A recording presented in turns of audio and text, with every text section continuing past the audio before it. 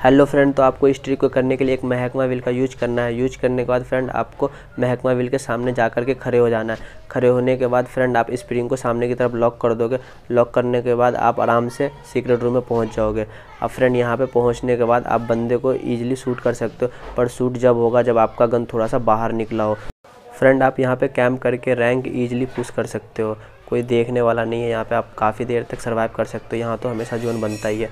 आप आसानी के साथ बाहर भी आ सकते हो तो कोई दिक्कत नहीं होने वाली आपको बाहर आने में। अगर वीडियो अच्छी लगे फ्रेंड तो वीडियो को लाइक करो और चैनल को सब्सक्राइब कर लो। मिलता हूँ नेक्स्ट वीडियो में, तब तक के लिए आप अपना ख्याल रखना।